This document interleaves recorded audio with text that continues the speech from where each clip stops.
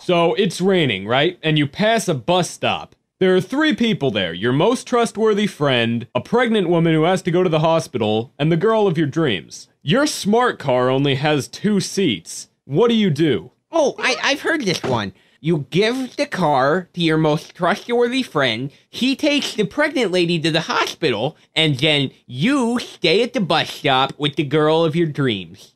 No. You go home and reevaluate! You!